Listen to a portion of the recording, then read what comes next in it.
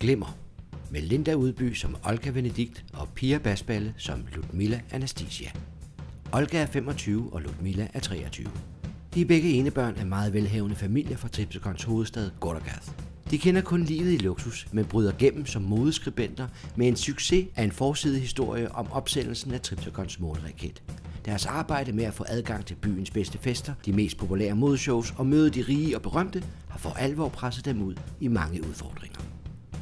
Episode 15 Olga og Ludmilla møder Katja på den blå café, men veninderne er i tvivl om, hvor meget de kan fortælle hende og går på toilettet for at tale privat. Kriminalkommissær Lisette ankommer midt i det hele og passer veninderne op ude på toilettet. Men veninderne slipper ved at love, at de selv møder op på stationen kl. 17. Før Katja forlader dem, aftaler de at spise aftensmad hos hende, og netop som hun er gået, ankommer redaktøren af Logos og spørger efter Irina. Hun har fået en særlig opgave, men er nu forsvundet, og han frygter for hende. Veninderne lover at kontakte ham, hvis de hører fra hende.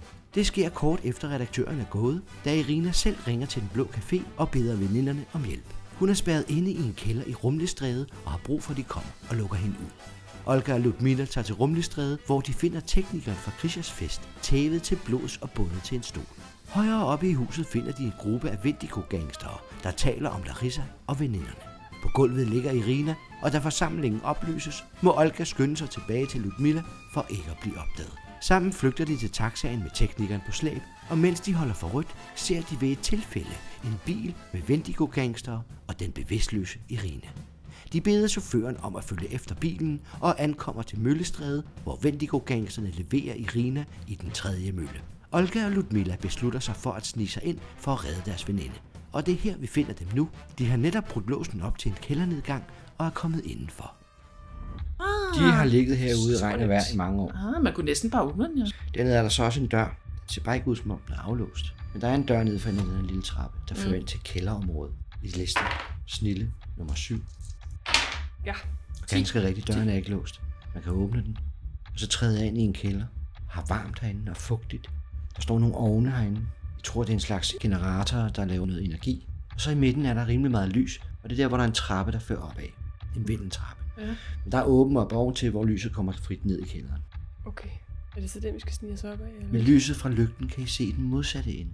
Mm. Der er der sådan nogle små celler med numre ovenover. Mm. Jerndøre med et lille rude i. Det ligner sådan nogle fængselsceller umiddelbart af jeres indtryk. Men det er ikke med trammer, det er med fast Ja. dør. Det er det. Det kan da godt være, de er smidt ind derinde. Ja, det kan da kigge? godt være. Lad os kigge ind ad de der vinduer. Der De er, ikke er, nogen, der er ikke nogen hernede, vel? Der er ikke nogen hernede. Kunne de have nået at gå ind og gå ned ad vindeltrappen i den tid, de var væk herinde? Fældekundskab. 9. Ja, ja. 11? Nej, altså så skulle de virkelig have sputtet ind og sputtet ud igen. Så Ja. det virker ikke så Nej, sandsynligt. så hun burde, i teorien er hun stadigvæk ovenpå. Ja. Men da jeg jeg kommer synes- ind i kælderen og nærmer jer trappen, så Ja. kan I også høre nogen, der snakker. Det kunne godt være, at dit har tænkt sig at smide hende herned. Sansa. 15? Jeg vil have en nummer 10. I kan høre, hvad de snakker om. Nej, lad ham bare blive dernede. Vi skulle tage os af hende her først. Er karret fuld? Ah, jamen, nu tror jeg altså, vi skal tage op, og så skal vi pege med vores pistoler, og så skal vi tro os til at få hende udleveret. Og det er lige nu, vi løber op ad trapperne. Ja, det gør vi så åbenbart. trappen. Fysik. Øh, Ni. 8. Hvad er en fysik nummer 12? Nej, Det, det er jo en fokus, okay. det er jo to fokus. Nå, okay. Er det ikke nok, at en af os klarer den? Så kan jeg komme op, og så Så kan du måske lige først. komme skridtet efter, eller... Det er selvfølgelig bedst, at vi begge to er der, det vil jeg da gerne have noget om. Nå. Du må stikke dig, altså. Det vil, det vil efterlade Au. en chance for at stoppe den. Ja, ja. Au. To. Jeg tager, au, den anden Du skal være med. Ja, aui. Da I kommer op, kan I se det i sidste øjeblik. I kommer op i selve møllerummet, og her der kan man stadig se noget af det gamle mølle, men det meste er blevet skiftet ud af en masse bioalkymisk laboratorieudstyr. Så er der sådan en kæmpe stor kar i midten, der står bobler og syder. Og der kan I se, at der er hun ved at blive hejst ned i sådan et metalnetgitter. Han står lidt op og trykker på startknappen, da du træder op, og I kigger Så på råber ham. bare, stop, eller jeg skyder. Karisma, Ja, 17. vi råber meget højt. Ja. Ja, 17. De stopper op, Ja. kigger på jer, Det er lige nu, du træder væk fra den kære. Ja. men den kører stadig nedad. Du trykker, Tryk stop, op. lige Stop. nu. Hiv den op. Så skal jeg have en til. Ja, 13. Karisma. det er lidt bedre. Ja. Ja, ja, den altså. kan være med på 14. Han tager langsomt hånden ud og stopper den. Og så træder du væk. Peger du på de andre? Træd væk fra Han tager hænderne kontakten. op og træder langsomt tilbage. Væk. Jeg er to. En yngre fyr og en ældre mand i hvide kitler. Væk. Han Træd træder- tilbage. Han træder væk. Helt tilbage. Er der noget ræb eller et eller andet? Kigger der omkring. Sanse. Øh, 12. 16. Jeg skal have en Sanse 12. Okay. Der hænger nogle ruller ræb. Jeg tror ikke, det er noget, de bruger. Men det har noget, der har været en del af møllen engang. Kan man, er, er der så noget hejse, hvor man kan sådan, er det en, en slags kran, hvor man kan dreje hende væk Ja, fra det er karret? det.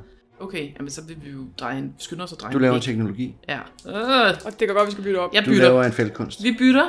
Vi bytter. Øh, Du får rebet. det er Olga, der er teknikeren her i firmaet. 8 teknologi, 8 feltkunst. Ja, øh, okay. Ja. Okay, jamen det er klart. Masser af 10. teknik. 10. Så I får dem bundet forsvarligt. Ja, Og du får vendt kranen og får hende sænket ned igen. Bioalkemi 12. det var lidt meget. 7 det 10 er jeg på. Du skal kun bruge en fokus, ikke? Jo. Ja. Godt, jeg bruger en fokus for klaren. Hun er sådan set ikke livsvær. Hun er blevet drukket virkelig voldsomt. Så hun skal nok bare sove den ud, eller måske til udpumpning for Okay. en sikkerheds skyld. Ja, men øh, vi må jo slæbe hende lidt væk. Øh, men de er bundet lige nu, så der er ikke sådan umiddelbar fare for dem. Nej. Har undersøgt, om de har våben eller knive på sig eller et eller andet, så de kan komme fri, ikke? Nej, der ligger en Maxim over på bordet. Det er det eneste våben, I umiddelbart kan se. Tager vi lige med, ikke? Den Skal vi, vi genom ind i det der bur? Ja, de, jeg tror ikke, de kan være i bur. De, de kan være i en af cellerne nede i kælderen måske. Kan det ikke være det der bur, som de havde puttet ind i? Ja, jeg tror, Der kan være en af gangen. Nøglerne til cellerne i kælderen, er de her et sted? Er de på en af dem? En af dem havde nøgler på sig i hvert fald. Den, dem tager jeg. Altså, så, må de, så skal de ned ad trappen. Ja, vi peger på dem med pistolerne. Ja, De rejser sig op. og ser meget alvorlige ud. Jeg håber sandelig, I ved, hvad I gør. Afsted! Nu! Ikke hvem som Nu! helst. Så, ikke mere snak. Afsted! Jeg ved godt, hvem I er. Afsted! Han begynder at gå ned ad trappen. Jeg skubber til ham. Er det ikke det, man mand gør? kan ikke lade være med at kigge lidt på jer. Synes vi er lidt frække. Ja. Det ved vi godt, vi er vant til det. Afsted. Jeg kan ikke lade være med at smile. Nej! Så, Olga, jeg ved godt, det er en instinktiv refleks. Jeg kan ikke gå for det. Er Nej. refleks. Ja, yeah, I know. Åh oh, gud. Nå, men de må hen til nogle af de tomme celler. Skal vi være jo kigget ind i? Nej, så kigger jeg. Hvis du står og peger lidt på dem, så går jeg hen Jeg og åbner. Vi ved jo, der sidder en mand hernede et sted. I skal ikke åbne derind til. Ved du hvad? Du skal holde din mund. Nej, Øh, så tager jeg næste. Jeg advaret, ja. Så Måske- åbner jeg næste. Jeg åbner den næste. I det øjeblik, du tager fat i håndtaget, så står der en gnist ud fra døren og rammer dig hårdt. Okay, der er strøm i. Du skal have fysik 18, eller du mister en liv. Nå, jeg tror, jeg mister et liv, sådan er det. 11, 13. Ej, jeg skal stadig bruge to fokus, det kan jo ikke betale sig. To helbred eller et liv, så tager jeg et liv. Au! Ej, hvad, fuck? hvad, hvad er det? du kan ikke Hvad sker der dog? Nej, Du må trække hånden til. Hvor kan jeg se, hvor man slukker? Er for du okay, strøm? Ludmilla? Ikke umiddelbart, Ah, men det det- må der jo være et sted. Hvor er det, man slukker? Er der nogle af de her sætter, der ikke er strøm på? Altså, jeg, jeg, nu, jeg skyder den ind i benet nu. Jeg er ked af det, Olga, men... Ellers så vil de jo ikke fortælle os noget. Jo, vi har- Han ser hård ud, den ældre mand. så peger jeg hen mod ham. Ej, hvad med bare i stedet for? Prøv nu at høre. Vi har heller ikke jeg, lyst. jeg, jeg ved det ikke. Ellers så får vi altså Jeg- jer jeg til at åbne noget. døren næste gang, ikke? Jamen, det er fint. Du bliver bare skubbet hen mod den dør, nu så sørger kan I du for kysse at slå den døren. fra, ikke? Og så, øh, så kommer I ikke til skade. Hvad med det? I åbner ikke døren, selvom I skubber mig derhen. Nej, men du får, øh, kan få Du lov får at lov at mærke din egen selv. anordning. Ja. Hvad vil så det kan vi hjælpe så Så kan du lige så godt skyde mig med den pistol. Det tror jeg, vi er nødt til. Ham der, han er ikke til at Det ved du snart ikke rigtigt. Hvis I bare skal hen mod døren, men så kan han gå på andre tanker. Hvor, gam- hvor stærk ser han ud til at være, den gamle? Og man ser da ud som om, han er rimelig stærk. Altså, jeg har ikke Nå, lyst til at ikke gå i håndgemæng med ham. Det er det, der er hele pointen. Jeg vil hellere skyde ham, end at skubbe ham. Okay. Men øh, kan vi selv, kan du ikke gennemskue det med noget teknologi eller et eller andet? Ja, måske. Teknologi Jeg 14. vil da hellere bare selv lure det. Øh, Jeg er på en 11, så med én fokus kan jeg faktisk lure det. øh, Okay, jeg jeg, er hjælper. jeg er helt sikker på, at hvis man bare øh, piller nok ved låsen derhen, Taber hun så sit- går den, så går slår den fra sig selv, det tror jeg. Smut, smutter kulturindeks ud af fingrene på dig nu. Ja, sådan, ej! Jeg, jeg, jeg kl- bruger en fokus, og så klarer jeg en teknologi i 14. Selve ledningerne må være inde i væggen. Mm-hmm. Men du ser henne ved en kældernedgang, der går ledningerne ud af væggen og går ned langs væggen ned i kælderen. Kan man kotte ledningerne? Ja, det må man kunne. Spørgsmålet er, om der er en alarmfunktion tilbygget til. Ja, Det er jeg fortsat ligeglad med lige nu. Hvad? Hvad, hvad er dit Der er forslag? nogle ledninger derovre, som går ned i kælderen. Bare, bare Ja, dem har jeg set, men... Ja, det, det må være dem, der fører strøm her til. Jeg ved ikke, om der er en alarm, men, men jeg synes bare, vi skal cutte dem. Ej, det synes jeg ikke. Det er en dårlig idé. Fordi tænk, du, øh, så er det mere det, de, der- alle de der øh, mafia-typer. Ja, vi bliver her vel ikke? Nej, men stadig. Det ville Jeg være synes, meget vi skal rart, smutte. hvis vi kunne stash dem her, uden at de kunne ringe til nogen, så vi ligesom fik noget tid til at slippe væk. Det ville være rigtig godt. Jeg håber, der også er Astia på vej, altså. Hvad med bare at smide ned det der syrebad? Så er vi af med dem. Ej, jeg er da ikke en mordersvin. Nå, lige før vil du gerne skyde ham, altså. I benet! Nå, okay, så gør du det. Så ser vi, om det hjælper. Prøv lige at holde øje med dem, ikke? Jeg vil hellere kigge ned i kælderen. Er der en kontakt ned i kælderen? Du kan ikke se det, fordi det er sådan en kælder. Det er ikke en vindeltrappe, men den drejer rundt en enkelt gang. Så du skal helt ned for enden af den ene trappe, og så kan du se, så er der bare et lille stykke trappe ned i et stort mørkt rum. Men du kan se derinde, der står der en stor generator. Og du kan også høre den dunker. Den siger ikke så Og det er meget. den, der skaber strøm til hele det her? eller? Nej, den der giver kun strøm til de døre der. Ah, okay. Men hvis du, altså, prøv nu, hvis du slår den fra, hvad slipper du så ud derindefra? Altså, Men er de både låst og med strøm i? Ja, det tror du. tror vi, men vi ved det ikke. Oh, men det... Hvad nu, hvis de er låst med sådan noget strøm? Okay, men hvorfor er det, du stoler på dem? Det gør jeg heller ikke. Det er jo kun dem, der har sagt, det er farligt, det derinde. Ja, og så lige, at du fik et ordentligt rap over nallerne før. Nå, jamen, det er ikke det, jeg snakker om. Det er derinde. Kan man ikke kigge ind ad de der vinduer, altså? Se, hvad det er. Jeg skal have en teknologi 8. Ja, Ah, den er gang det et en bedre. Låsen er ikke elektronisk. Der er ikke noget strøm til den. Det er en almindelig lås. Okay. Men døren er strømledende. Mm. Så det er jo bare en ekstra Men hvorfor er den sikkerhedsforanstaltning. det? Det er Altså- den jo nok mere på grund af dem, der er indenfor, end dem, der er udenfor. Altså, det er jo nok ham der, de synes Ja. er meget farlig derinde. Ja. Men det er kun deres ordfører, hvis alle talt, de ikke kan lide ham, så øh, er han allerede lidt min ven. Hvis man vil se, der er en, der er ravne mørkt, men der er den der rude. Ja, så er kan der- vi jo så er pege ind med lyset og kigge Ja. Men altså, hvorfor skal man bruge strøm til at holde nogen inde? Det forstår jeg ikke. Er sikkert nogle ting, der bliver holdt inde, så han ikke kan få lov at røre ved noget. Hvem kan vi se derinde? I tager langen op og kigger. Der ligger en mand. Han er helt sammenkrøbet over det ene hjørne. Han er i jakkesæt til det ud. Det ser ikke specielt farligt ud. i hul og hvidt. Man kan ikke se hans ansigt, fordi han sidder og krummer sig helt sammen. Er I smerte, eller... Ja, men så bemærker du hans ene hånd, der knuger om hans ene knæ. Ja. Den er lige bleg. Er han en vampyr? Altså, seriøst. Er, er det slaver eller sådan noget? Ej, det er han for lille til. Okay, slaver var større. Ja, han kunne godt være en vampyr. Han har i hvert fald samme farve hud. Hvor mange af dem er der? Men kan det der strøm, kan man bruge det på vampyrer? Det kan man åbenbart. Det Det kan de ikke. lide til synligheden. Det, Det er ingen- træpæle. Ingen enelse om. Det kan også være noget andet, der var samme farve. Jeg, jeg, jeg ved for lidt om det. Ja. Hmm. Okay, skal vi ikke droppe og lukke dem ind, og så bare øh, gokke dem i hovedet, eller et eller andet? Kan man slå, hvor, hvor svært er det at slå flot? Gud, det er ret svært, ikke? Ikke hvis de er Bundet. Nå, okay. Så kan man bare slå dem. Øh, gok, jeg synes bare, vi skal slå Altså, dem hvad ud. med at binde den fast til noget, så det heller ikke sådan lige kan nemt komme fri? Glimrende idé. Det kan Ja. vi også. Vi finder et eller andet noget at binde Der er fast. masser af rør og søjler og binde Ja, dem ja. fast. Ja, og den der vindeltrappe Og og, alt muligt. og alt muligt. Ja, Ja. det er noget fast det. Fældkundskab 5. Ja, det kan vi finde ud af måske. Binder dem ja, heller lidt for meget end lidt for lidt, ikke? Ja, ja. Jeg er enig. Det er fint. slår sig ikke ihjel, vel? Spørger den unge fyr. Nej, nej, det har vi ikke. Altså, vi er jo ikke Vi kriminelle. er ikke som I. mordere. Heldigt nok for dig. Ja. Nogen af os har samvittighed. Mm, præcis. Men vi er nødt til lige, at I må blive her et stykke tid. Han får lige lidt voksen skal ud, ham der den unge. Så den anden er vist forrådet. Så øh, ja, vi må bare binde så meget fast, vi nu kan, ikke? Jo, jo. Vi Hælder binder lidt for meget, lidt for dem lidt. godt fast, og så slæber vi øh, Irina hen til døren. Så I suger dem fast. Ja, Så går jeg op og henter Irina. Hun ligger stadigvæk. og så må vi slippe hende hen til ud i døren. Skal han styrke nummer 9, Okay, det var lidt mere... Det var ikke håndgribeligt. Nej, jeg kan komme op. Kan vi finde fælles et eller andet? så skal han have en fælles femmer. Jamen, den er kan jeg med på. Ja. Seks herovre. Er du Fem. Sindssygt, kan vi begge to sådan lige løfte den op. Du har altså også spist for meget kage. Ja. Seriøst. Okay. Og så frygten Vadam. Så begynder jeg at bære hende afsted. Da jeg laver en sans. 10. Nogle gange gider man ikke de der sanser. Ja. Hjælp. Hjælp. Er det ham inden for cellen? Nej, det kommer ned fra kælderen af. Ej, hvad? Okay, hvem? Har vi slået dem ud, eller bandt vi dem bare? Vi vandt dem. Okay, Bandt jeg dem snakker slet ikke meget den fast. gamle, den, den sure der. Ved du hvad, måske skulle vi bare slå ham ud, så bare snakke med den unge. Ja, god idé. Det Ved er du en hvad, idé. Gok, jeg prøver at gokke ham den gamle ud, fordi han er sådan Det er en lidt... styrke på. Ja, Det er 9. uh, det var svært jo. Nej, 11. Nå, sådan. Der har du fundet talentet der. ja, jeg var også lidt irriteret Den på unge ham. mand sidder og kigger bange op. Ja. Prøv at, han virker sådan en rigtig dårlig indflydelse på dig, ham der. Du, du har stadig valg i dit liv. Ham der, hans sjæl er væk. Hvem er det, der er nede i kælderen? I skal, ikke, I skal ikke gå derned. Hvem er det? Han er farlig. Jamen, okay, der er en, der er farlig inde i cellen, der er en, der er farlig nede i kælderen. Jamen, Hvad de har I der er noget andet. Ham dernede. Forklar lidt om det. Hvem er Ej, det inde i cellen? lidt mere, ikke? Ja, hvem er det inde i cellen? Jeg, jeg ved ikke, hvem det er. Det, det er nogle testpersoner, siger han. Testpersoner. Til hvad? Er han sådan en videnskabsmand, der laver forsøg? Han laver mange forsøg, men han arbejder for, for mennesker, der kommer og skal have særlige opgaver ordnet. Aha. Så har han ham der. Jeg tror, han er en vampyr. Ja, det ligner, han er Det lige ligner faktisk sådan, ja. Men hvad hjælper det der, det der strøm, der er på dørene? Hvad hjælper det i forhold til vampyrer? Det er mod vampyrerne. Det kan de ikke lide, eller hvad? Vampyrerne er stærke nok til at smadre de døre der. Ja, Men når der er strøm på, så kan de ikke. så kan de ikke. Nå, Nå Okay. Det er rart at vide. Ja, det er en Max. Og så lige ham i kælderen. Hvad er det for noget? Ham kunne vi ikke få ind i cellen. Er han også en vampyr? Nej, Hvad er han så? Prøv jeg ved det ikke. Hvordan ser han ud? Altså, kan du prøve lige at sætte nogle ord Bliver på? han nede i kælderen? Ja, han er lænket. Fanget? nede i han er kælderen. lænket. Okay. Altså, er det en, en mand, en person? Jeg tror, det er et uhyr. Jeg har ikke selv været med, jeg har aldrig set den. Men, men jeg har hørt det, når de har slæbt rundt med den. Slæbt rundt med? Hvordan slet ikke. slæbt rundt Jeg med? tror, den nejer med den stemme der. Jeg, jeg, jeg tror ikke, det, man kan ikke altid... Ligesom med vampyrer, de kan også snyde dig. De kan trylle dit hoved. Hvad for en slags uhyre? Du skal ikke gå derned, Olga. Uhyre, det er sådan nogle... Jamen, problemet er uhyre, de, de, der er jo ikke to, der er ens. De kan jo øh, se alt muligt ud. Prøv at du skal finde dig et andet job. Men det her, det kan give mig adgang. Til hvad? Til endnu værre ting. Jeg kan blive professor. Nå, til Jamen, prøv, det kan du også på universitetet. Ja, det er der, jeg bliver det. Han er jo stor professor på universitetet. Hvad hedder han? Din lærermester? Nu lover jeg, I ikke siger, at jeg har sagt det. Ja, Ja, ja, ja, ja, ja. Han er meget magtfuld. Ja. Han er Det dekan af hele det bioalkymiske fakultet. Og, og så har han bare sådan nogle månedskens opgaver her. Hold kæft, en Så er han bare rygende psykopat og har Ej, nul... Hold nu fest. Hmm, okay. Men en god historie. Hvad er han? Hvad hedder han? Professor hvad? Han hedder Theodor Valak.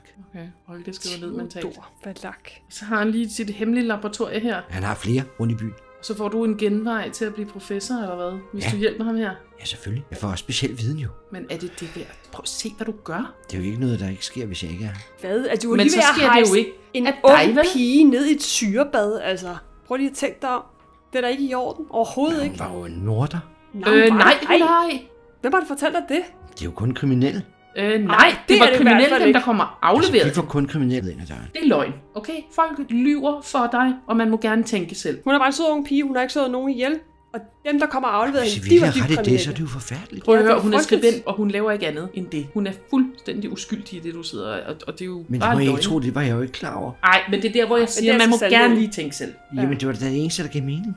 Øh, nej, der er mange ting. forbrydere. Dem, der kommer hende, de er til gengæld nogle værre morderforbrydere. Så tænk dig lige om Ja. næste gang, han lige siger, tryk på knap. Jeg vil nok skal jeg øh, finde et andet job, hvis jeg var dig. Ja. Men hvad er det, han har i kælderen? Det kunne også være et scoop ting. Du skulle tage et billede. Jeg skal slet ikke se den. Hvis en vampyr kan trylle i mit hoved, bare jeg kigger ham i øjnene, så ved jeg slet ikke, Men hvad nu, en hvis man bare kan. tager, tager kameraet ned, og så tager et billede uden at kigge på det? Det kan man så ikke med den der kældergang, sådan som den går. Ned. Jeg kan ikke gå ned og redde dig, fordi at hvis den tryller med dig, så tryller den også med mig. Og jeg ved ikke, hvad den kan. Hjælp mig. Sys dernede. Øh, nu, nu skal vi altså bare ud med Irina. Jeg vil ikke... Irina Men hvad nu, hvis det bare er noget, de har fortalt ham her? Ja, nu går jeg hen til døren, og jeg prøver at slæbe Irina hen mod døren. Hvad nu, hvis det faktisk er en eller anden stakkels person, der er fanget? Ja, så vil han ikke være dernede, så vil han være inde i en af cellerne. Eller også ville han ikke, for dem inde i cellerne, det var nemlig nogle ekstra farlige nogle, og det var derfor, de sad i cellerne. Men tænk nu, hvis det bare er en eller anden stakkels mand, som er fanget Ja, derinde. så kan Asti gå ned og kigge på det, fordi det skal jeg ikke. Okay, så. Så må du mindst tage nogle billeder af det her hemmelige, super hemmelige laboratorium. Det kan vi gøre. Hjælp mig. Altså, det er skummelt, at han kun siger det samme. Ja. Jeg er ked af det. Det er lidt skummelt. Øh, Hvad vil du sige, hvis det var dig, der var fanget Jeg vil prøve at forklare, prøv at høre, jeg er den og den, kom og red mig, og de har taget mig til fange. Jeg vil forklare så meget, jeg kunne, sådan så at folk de faktisk forstod, at de skulle redde mig. Hvem er du? Lad være med at begynde at snakke med dem. Yusuf, Yusuf. Yusuf, hvem? jeg har det ikke så godt. Jeg er lænket. Jeg ved ikke, hvorfor de har taget mig til fange. Jeg tager billeder af laboratoriet deroppe. Du går rundt og tager billeder Ja. af laboratoriet Er der, og af øh, cellerne. Ja. Og så er Jeg åbner fangen. ikke ind til vampyren, og der bliver ikke lukket for strømmen, for det sker ned i kælderen. Sanse 9. Ej, jeg er for nysgerrig. Jeg er så- 16. Og jeg har ikke til lige igen, Olga. Jeg, jeg går ikke ned og henter dig. Fordi jeg, jeg kan ikke. Hvis du, den tryller med dig, så tryller den også med mig. Og så ligger Irina her Men den kan hos ikke trylle, når den mordersvine. er lænket, vel? Er du ikke sød at stoppe? Men jeg er alt Er du ikke sød at stoppe? Fordi nu går vi ud til vognen, og så lader Asti klare det skidt der, altså. Kan I ikke bare give mig fri? Øh, nej, jeg, øh, jeg har taget billeder. I kan ikke efterlade mig hos de her forfærdelige mennesker. Og vi skal nok melde, at du er her. Der kommer nogle andre, der hjælper dig. Ja, vi melder det til politiet. Du kommer ikke til at sidde dernede for evigt. Ja, vi melder Hvorfor det. tør I ikke at gå med ned til mig? Det er mørkt. Der er virkelig en grund til, at man lukker folk dernede for evigt. Øh, det, det tør jeg ikke. Det kunne også, ja, måske fordi han bare var imod den der mafia. Det tror jeg ikke. Så havde de fyret ham i syrebad. Så vil jeg prøve at se, om jeg kan slæbe Irina derovre. Okay, styrke. 8. 8. Nej, vi er på en 6. Kommer du lige og giver en hånd med at få Irina ud til vognen? Undskyld, Yusuf. Øh, der kommer nok nogle andre og hjælper dig. Hvem er du? Øh, det er lige meget. Irina, kom. Eller ja. Olga, giv en lille hånd. Ja, er- ja, Irina jeg er alt for tung. Så 2 4. 2-4. Jamen, den kunne jeg godt klare. Jeg på en... Øh, Okay. Så jeg løfter op i Rita. hen til døren og ned til, til den der vogn. Den holdt ikke så langt. Det begyndte at sne igen, da I kommer ud. De sne, der har ligget de sidste par dage efterhånden smeltet væk. Det begynder at ligge sig igen på gaderne. Der er et stykke vej ned til taxaen. Øh, Men I kan se den. Lysene, der ligger dernede, den er der stadigvæk. Fik vi en 10 i styrke? Nej. To femmer. to femmer skulle du have. Jamen 10 Ej, ja. faktisk her. Jeg kan Altså, Jeg kommer frem til taxaen, føler mig uden lettet. at blive yderligere udmattet. Er det sådan, hver gang I er inde og hente folk her rundt omkring, siger chaufføren? En til? Ja. Jeg håber, er at der er nogen, der gider gøre Og det hun for ser os. da godt tilrettet ud, men Ja. dog ikke gennemtævet som Nej, nej, men hun er helt væk. Tilbage til Og hospitalet. nu skal vi til kulthospitalet. Ja, nu bliver vi simpelthen Ja. nødt til at tage. Nu er det nu. Han vender vognen, og allerede da han vender den, kører den væk. Og sneen lagt sig på vejen og laver dybe små. Okay, må jeg simpelthen skrive til Asti. Asti, vi har været ved tophemmeligt laboratorie i den tredje mølle. De putter folk i syrebad, og der var en vampyr i en celle med strøm i, og øh, et uhyre i kælderen. Hvad sker der? Hvad sker der her? Godt spørgsmål. Vi er kommet halvvejs til var- før der kommer et svar. Vi var lige ved at få det til at gå rigtig galt der, skriver han. Ja, Ja, men hvad? det gjorde vi ikke, dagen. og vi har nu både teknikeren og Irina Ja, det var med. nok mere held end forstand. Hvad? Nej, Nej. vi var faktisk Hvor er I på vej nu? Kulthospitalet. Ej, nu er han dum. Du var der ikke, og vi var Kulthospitalet. faktisk ret dygtige. Ja. Det er da bare, fordi han selv fejlede totalt, altså. Fordi han ikke var der, han så os ikke. Ja, Havde det er han bare set unfair. os, havde han været imponeret. Skal ja. vi Ja. ikke bare blive enige om det? Okay, det må han rette op Det på, der, det der. Det er bare ikke i af. orden. Hans kritik praller af. Vi Helt tager til Kulthospitalet, og så... Det er blevet øh, mørkt, da I når frem til Kuthospitalet, Ja. der ligger med sine mange lys og oplyser området omkring. ah, Her har vi været et par gange. Vi kan besøge Soja, mens vi er her. Hvor det fint. Jeg samler Ja. nogle ærner. Din Vi må få indlagt Irina. Bliver Irina indlagt? Ja, og ham tænker jeg ved ikke helt, hvad vi skal gøre med ham. Mm, Han, han er stadig bevidstløs. Han er stadig bevidstløs og ganske tævet. Han skal også indlægges. Ja, ja, men jeg er da bare ked af, hvis han pludselig vågner og får det frisk, og så løber sin vej.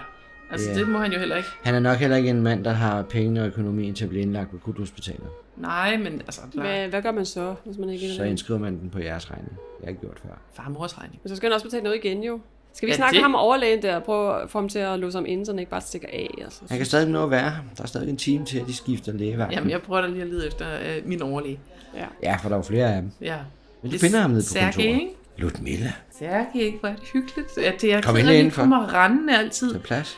Jeg kan godt lide, at du kommer rendende. Jamen, livet som modeskribent er åbenbart meget... Ja, det kan jeg forstå. Tillykke med ja. det, siger det. Du kan se, at han har forsiden af glimmer liggende. Ja, foran åh dig. ja. Ja, det var en øh, meget begivenhedsrig dag. Og så spændende. Månefar. Det Og er, tillykke med forsiden, den er videre. ja, men tusind tak. God historie. Var, var God den reportage. fængende? Ja, det må jeg sige. Ej, det, det glæder mig. Efter jeg læste den, må jeg jo sige, at I faktisk spilder lidt jeres tid med jeres klumme. Jeg tager mig det ikke ilde op. Nej, nej, prøv at... Øh, altså, mode er mode, og det er fantastisk. Men vi er faktisk lidt blevet lovet, halvvejs lovet en, en anden ansættelse, som Det rigtig manglede der også bare. Det manglede der også bare. Altså, Men det er nok ikke derfor, du kommer. nej. Øh, Har I flere venner, der skal indlægges, eller har I noget, jeg kan ja, hjælpe med? det er sjovt, du siger det. Øh, Irina. rigtigt? Ja, men jeg ved ikke, vi får rodet os ud i alt muligt. Altså, vi er bare for nysgerrige, tror jeg. Øh, min, vores rigtig gode ven, Irina. Hende, hende, det er hende, du ikke har mødt endnu. Hun, hun er blevet kidnappet, og, og øh, jeg tror, hun skal måske til sådan noget udpumpning eller et eller andet. Hun har fået en masse stoffer, hun ikke kunne tåle. Og det har hun altså ikke taget selv. Det, hun Det virker også- som om, at Ja. øh, jeres omgivelser har været meget uheldige. Det er farefuldt. Det er farefuldt at være nysgerrig, sådan er det. Og det er man jo, når man er reporter. Så, så Nå, skal man jo skal være bare få dem indskrevet, så kigger vi på det. Ja, Irina hun godt betale sin egen regning. Øh, ham den anden, han er lidt en anden stand. Men han ved måske nogle spændende ting, vi rigtig gerne vil vide. Og han, han skal ikke bare stikke af bagefter fra regningen. Står du? Mm. Hmm. Så jeg skal holde ham lidt. Jamen i hvert fald kontakt mig, hvis, hvis han bliver alt for spralsk, du ved, at være afsted. Ja, men det kan vi godt finde ud af. Du er en held, Sark, ikke? Du er en held. Øh, Der var de der blodprøver. Ja, nå ja, nå ja. en mappe op og giver det. Du har simpelthen holdt dig op. Sikkert en ordentlig øh, sag, du har ud, udarbejdet.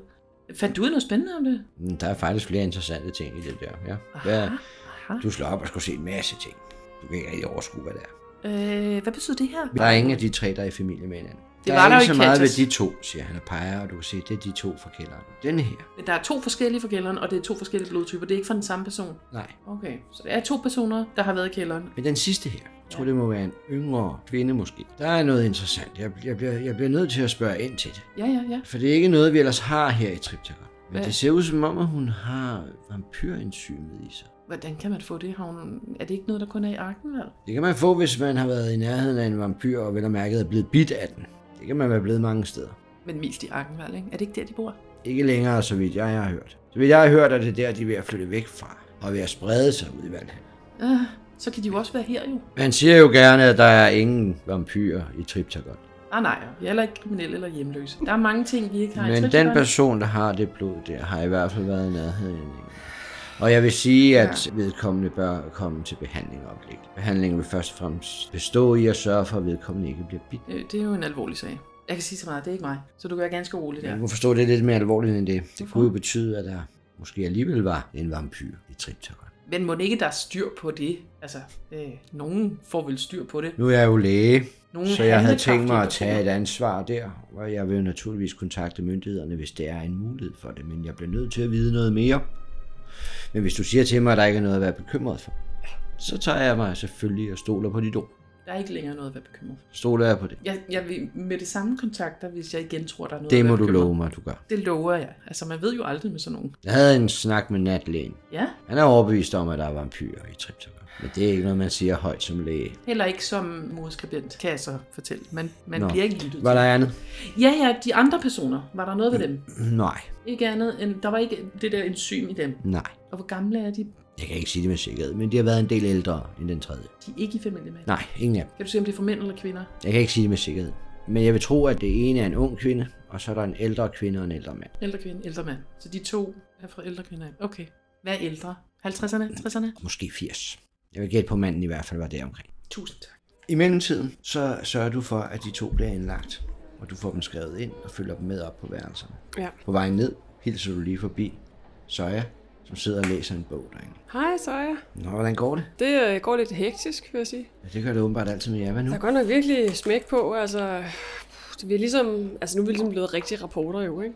Og der sker bare vildt mange er ting omkring rigtig os. reporter? Ja, ja, vi har fået pressekort og alt muligt. Prøv at se. Du, du. Og der er Benedikt, journalist. Okay, Sådan, tillykke. Mm, det er mig. Og vi har så Var det den der forside? Ja, det gjorde jeg da. Tillykke Ah, med den. Tak skal du have. Ej, vi er også helt vildt glade, men det er også sådan lidt, lidt vildt, for jeg tror måske... Hvad skriver I så på nu? Er I udlandet kriminalsag eller sådan noget? Jeg ved det ikke, altså vi er ligesom blevet rodet ud af noget. Jeg er ikke helt sikker på, at vi måske skal skrive råder om jeg jo det. altid ud af noget. Ja, men det her er måske sådan lidt for dybt vand, faktisk. Okay, I virkeligheden. altså rigtig flotte mænd. Nej, det, det er lidt noget andet. Nej, altså Irina, ikke? Hun blev kidnappet. Irina? Ja, hun er på hospitalet her. Vi har lige... Øh, Hvorfor vil nogen Det er derfor, vi er her nu. Ja, det er jo det, ikke? Det kan man spørge sig selv om. Altså godt nok laver hun super dårlige horoskoper, men alligevel... Er det på grund af jer, hun er blevet kidnappet? Vi ved det ikke helt, men det kan godt måske være... Hvad har lavet? Jamen, det ved vi ikke jo. Altså, der er det er bare nogen, der hele tiden der leder efter os, og vi Ej, ved ikke, jeg hvorfor. håber, jeg snart kommer ud her, så skal jeg nok hjælpe. Jeg er helt med. Hvordan går det egentlig i øvrigt med, med lungen og det? Har Det det går, det går okay. Men jeg kan godt mærke, at jeg kan ikke bevæge mig så meget, så gør det ondt. Hvornår bliver du udskrevet? På fredag. Okay. Men jeg skal nok komme med ud og hjælpe. Ja. Hvis du spørger mig, kan jeg så godt lide, at der er kommet lidt gang i jer. Det ikke kun er det der mode der, ikke? ja, men nu kan du prøve at se, hvordan det gik med Irina, ikke? Og ja, vi ved ikke, Ja, om det har er noget at gøre med os. Ikke? Men hvis det nu har, så er det jo faktisk farligt på en eller anden måde at være veninder med os. Det må vi jo faktisk nok erkende. Men tak, men Ja, jeg ved faktisk ikke, hvad det er, vi har rodet os ud i. Helt ærligt. Altså, vi, vi kan hverken følge hoved eller hale det hele. Der er bare, det er fuld af alt muligt farlige folk og spioner og mafia og hvad ved jeg. Ja.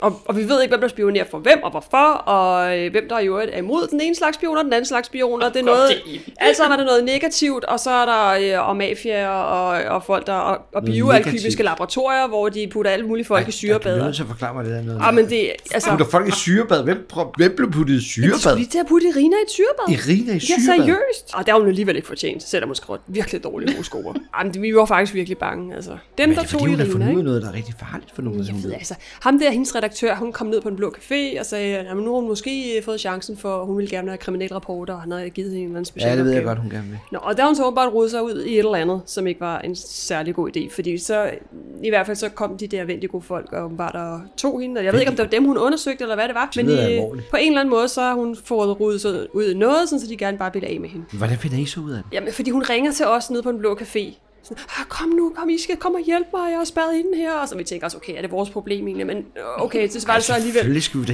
hjælpe. Nå ja, men, altså, men stadig, ikke? Altså, øh, jeg ved ikke lige, om måske vi var de bedste lige at ringe til. Men man skulle nok ringe til politiet, eller Ja, nogen der var nok en grund til, at hun ikke ringede til politiet. Ja, Nej, jeg måske. sidder her fanget. Tror du så, de kommer rendende? Nej, hvis man siger, jeg sidder her, der er nogen, der har røde mine smykker, så kan det være, de kommer rendende. Jamen, det tror jeg mest kun, det er, hvis man bor i vores kvarter. Nå, nå ja, det er selvfølgelig rigtigt. Ej, det vil nok ikke virke for hende. Det er måske rigtigt nok. Okay, hun kunne ikke ringe til andre end os. Og så var vi sådan, okay, hvad skal vi gøre? Og så, øh, og så sagde Ludmilla, nej, vi skal derud, og vi skal, altså, nå. Så vi ringede til ham, der redaktøren, og så tog vi derud. Og altså, han kom vist aldrig. Altså, jeg ved ikke, hvor, hvor han ligesom blev af i hele det der. Så må, måtte vi jo ligesom tage affære, ikke? Altså, fordi hvem skulle ellers gøre noget? Ja, Ikke? Så det gjorde vi, og så, øh, ja, så, så rød vi ind i det der hus, altså. Og, befriede og, hende. og befriede hende, og sådan en eller anden fyr, som bare var fuldstændig gennembanket. okay. At der okay var en så anden det havde ikke noget med jer at gøre. Mm, Vi, vi ved det ikke helt, fordi øh, det kunne godt på en eller anden måde... altså, det lød faktisk lidt, som om det havde noget med os at gøre. Hvordan? Hvis der kun lå de to, hvordan havde det noget med jer at gøre? Fordi øh, jeg hørte dem sige noget om, at det er de andre to. De der, og ham den gennembanket. nej, nej, de, de, de der, de der Vendigo-folk, de der øh, Var, var der kriminelle nogle vendigo-folk der? Ja, Hvorfor sagde de ikke til noget, du var der? fordi de kunne ikke se mig, mand. Jeg var super stille. Snigeren. Nå, du sneer. Prøv at se mine sko. Jeg kan brække hælen af, altså. Og min konturindeks er færdigt, og altså, det hele er bare i det. tur. Det meget, var en hård dag. Det var en virkelig hård dag på jobbet, altså. Hvad hørte du dem sige? Hvad, hvad var det nu, de sagde? Jamen, de sagde sådan et eller andet med de der to, og dem, som er rige, og de er vigtigere. Noget af den stil. Dem der to og dem, som er rige, hvem snakker Jeg, jeg tror måske nok, de snakkede om mig og referat. altså. Hvorfor er de interesseret i jer? Ja, det kunne jeg godt tænke mig lige at vide, men... Øh, ej, det, det, det er fordi, de snakker om et eller andet negativt, vi har, men altså, vi har Negativt? kun positive nyheder, som regel. Så jeg forstår ikke det der negative, hvad der overhovedet, hvad drejer det sig om, ligesom? Hvad snakker du om negativ? Det er en eller anden opfindelse, altså, men vi har da ikke den der dumme opfindelse. Nå, negativ. Altså, hun er jo Ja, ja, det er det, jeg siger. Ja, det er en ny opfindelse. Hvad er det for noget? Det er en lille virksomhed i Assidur. Det lyder helt vildt. Jeg har Hvordan læst alt vi- om det, hvad jeg kunne. Hvordan Prøv at se her. Hun tager fat i et blad og viser dig en artikel, der handler om det. Det ser meget teknisk ud. Der Kan du står også lige noget om, at virksomheden har været sådan en lille bitte virksomhed, og på 14 dage kom der en, en investering, og så øh, steg deres værdi 1500 gange. Hold da op. Jamen det er fordi, at man kan tage billeder, og så kan man gemme det på det, der hedder et negativ. Ja.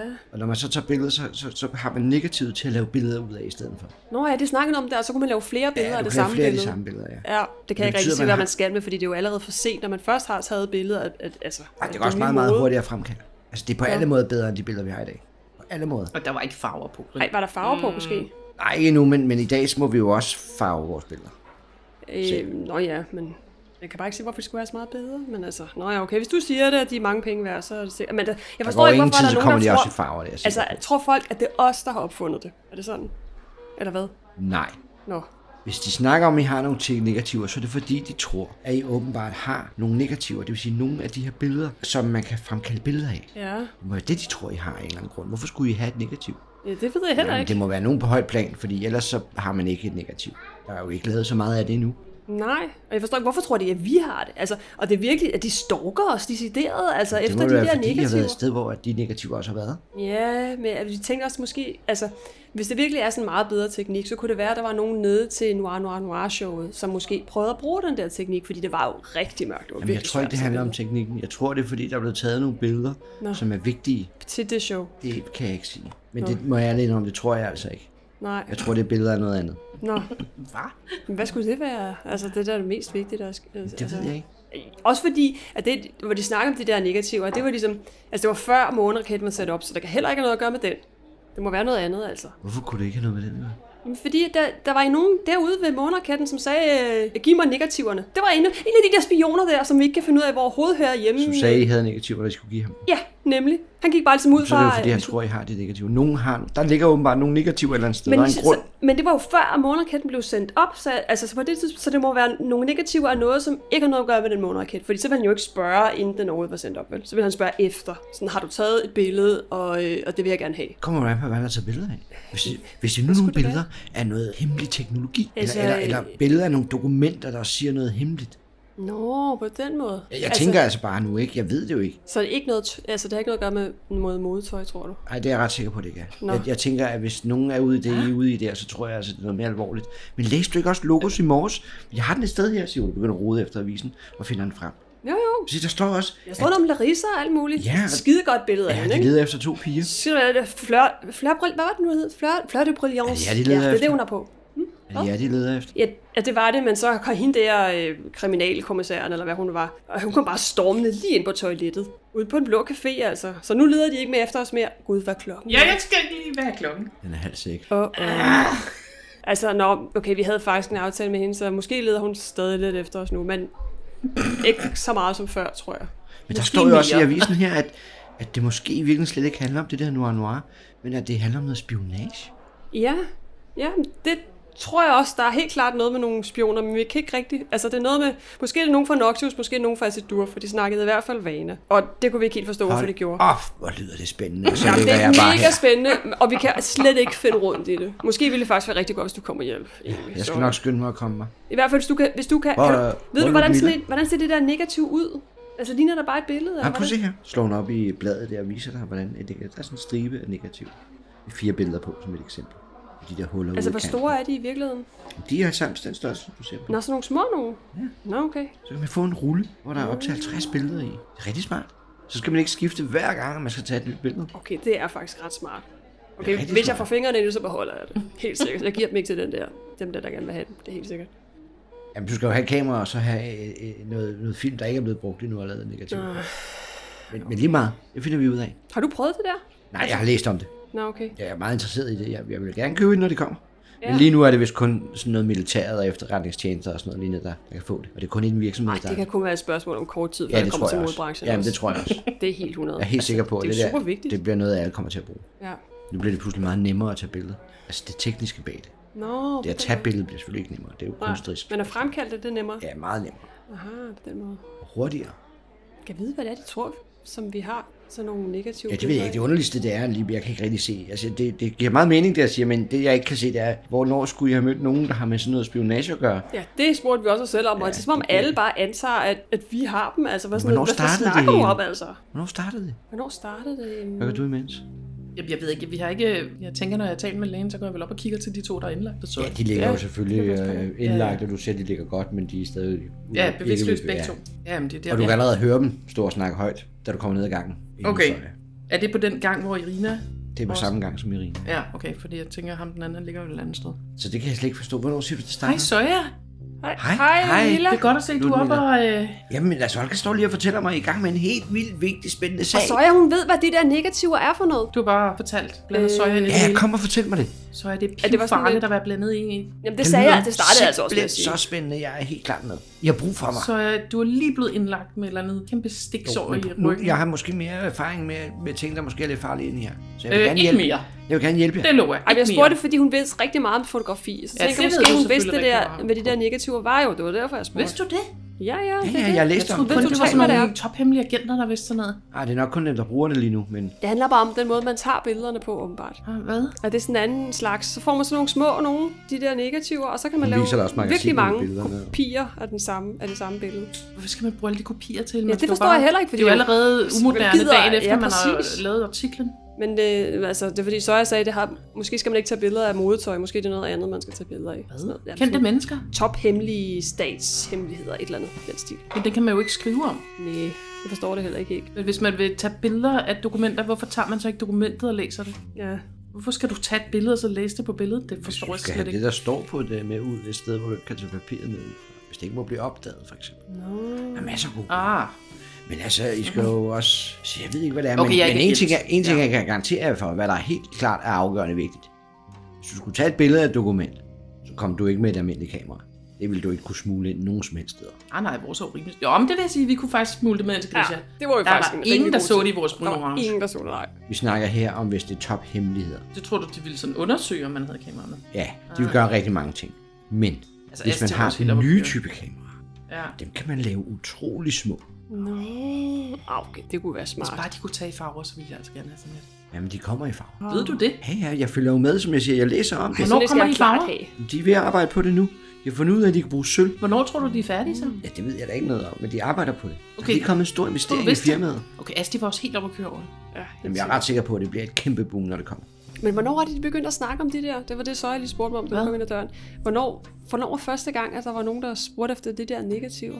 Hvorfor begyndte folk at være efter jer? Jamen, det var efter, vi havde været nede hos Grisha, ikke? Til den der fest, så gik det hele bananas derefter. Ja, men der var ikke nogen dernede til festen, der spurgte om Jamen, der var jo ham der teknikeren, som åbenbart er blandet ind i alt muligt andet. Han var ude ved måneafsendingen, og han var hernede ved de der Men han spurgte ikke om noget med noget de der Nej, nej, men han er jo tydeligvis blandet ind i noget. Ja. Så det kan jo godt være, at der Men har... hvorfor skulle der være nogle vigtige, hemmelige negativer til Krishnas fest? Men det kan jo være dække. Det kan jo være, at festen var et dække over Men noget et andet. dække, så ville det jo...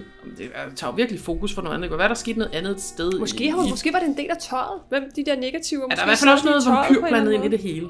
Ja, det var Det er der, fordi... Vampyr? Ja, ja. Nå, du ved, altså, jamen, er- det er da vel ikke noget med det at gøre.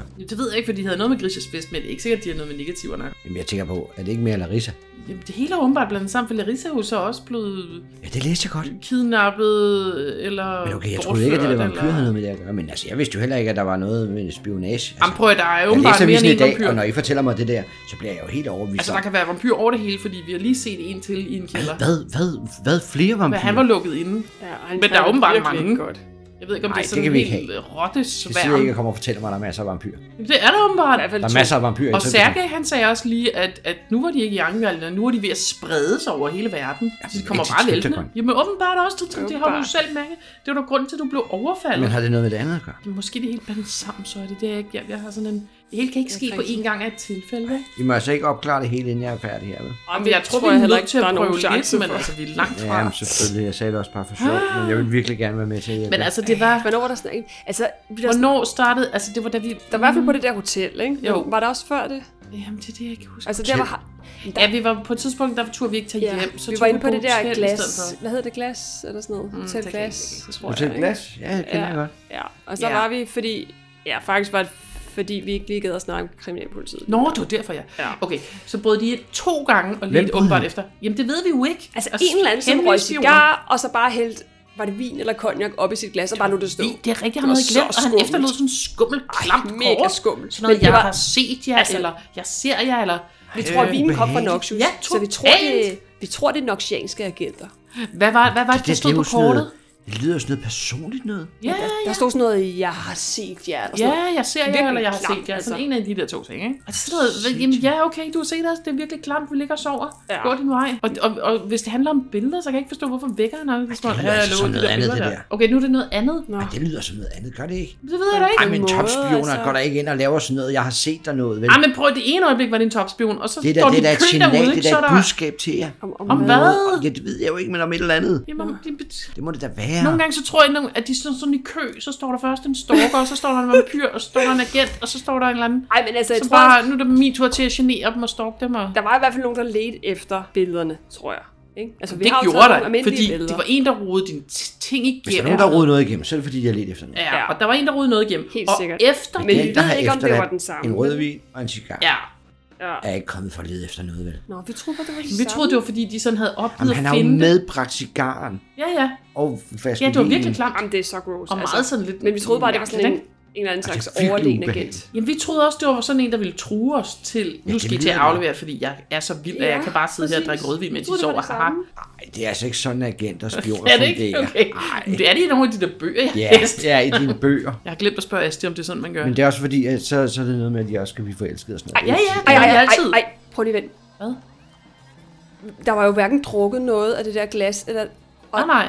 Cigaren var også kun lige tændt og så lagt. Men hvad er det? Er det ikke noget med vampyrer? De kan slet ikke drikke og spise? Hvad nu, hvis det var en vampyr? Ej, men prøv, at- han er palet. Vi har aftalt, at han er palet. Men var han palet på det tidspunkt? Ja, Ej, nej, nej. tror du, det er slet ikke... Men prøv, det er det, vi Kan aftalte. det være derfor, der ikke var drukket noget? Jeg troede bare, det var sådan en, øh, hvor jeg er overlegen-agtig. Det men... kan sagtens være derfor. Det kan også være det, han faktisk har ville fortælle ved at Ej. stille et glas vin, og så ikke drikke noget. Nej.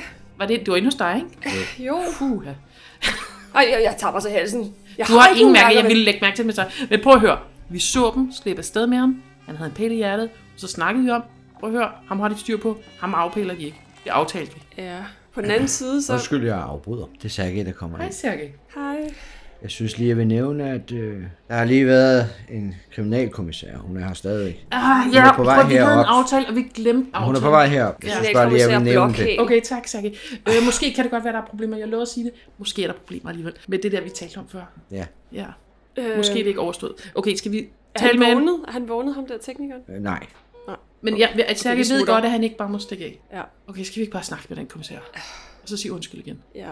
Okay, prøv at, det er fint nok. Vi snakker med hende. Vi må bare have det overstået. Hvad skal vi sige? Hvorfor var vi der ikke? Det ved jeg ikke. Det var fordi vores veninde var taget til fang. Nej, det skal vi ikke sige. Nej. Nej, det skal vi ikke sige. Vores veninde Ja, var... ja, det er herinde, siger han, venner. Hun Så. var besvimet Og så kommer derhjemme. hun gående lige sæt rundt om hjørnet og kigger ind. Prøv, jeg er ked af det, vi glemte det. Det var ikke, fordi vi ikke ville. Vi glemte Vi havde en det. klar aftale. Ja, men det var og altså er også frygtelig veninde. Hun undskyld. fik det så dårligt lige pludselig, og så måtte hun Ja. på Det er Det er hospitalet. som det er. Ja, Ja, det er desværre altså gøre det- det her. Ja. I er arresteret. Ej. Tag dem med. Så kommer Nej. hun betjent Der er da overhovedet er du sød at ringe til advokat? Jeg giver mit navn. Ja. Det skal jeg gøre. Så får jeg håndjern på. Ej, helt ærligt. Ej, helt ærligt. Altså, Ej, du ej, pas lige på tøjet. og alt muligt. Du kan det mindste tage hensyn til tøjet. Ja, jeg ville ønske, det kunne have været anderledes. Ellers sætter vi en Prøv, regning. vi gør vi. glemte det bare. Ja, vi glemte Der er det ingen jo. grund til at være så Men nu sur. glemmer jeg det ikke. I har nogle små, fine armbånd på, der kan huske på. Ja, ja, der er ikke nogen grund til at være Ej, næsvis, jo. helt ærligt, altså. Man, kan jo, man har jo travlt som For modskribent, ikke? Så kunne jeg bare være ned. kommet og sagt, nu kommer I med nu. og så har vi sagt, okay, talt, så det gør er vi sådan det. lidt småligt. Ja, det småligt. Totalt småligt. Hvem der lige går med små sko. Ja, vi går og rocker, småbrokker hele vejen ned. Og så bliver jeg kørt til den store politistation. Når man ikke kunne få et godt job, når man, så blev man sur. Ja, så blev man kommissær Blokhæl. Ja. Altså. Øv.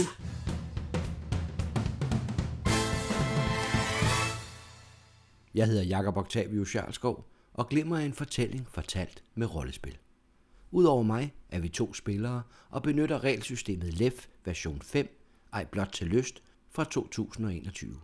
Det betyder rigtig meget, at du liker, deler og rater vores podcast, så det må du meget gerne huske. Glimmer produceres af levende eventyr og fantasi med støtte fra sponsorerne på Patreon.